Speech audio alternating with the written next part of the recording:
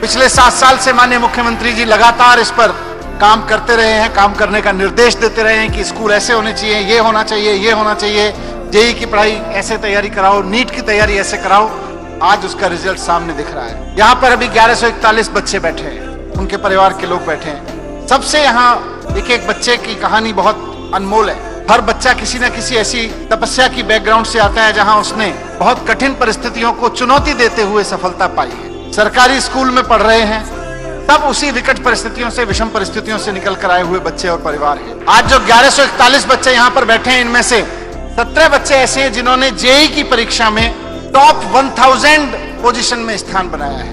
और 11 बच्चे ऐसे हैं जिन्होंने नीट की परीक्षा में टॉप 1000 में स्थान बनाया है।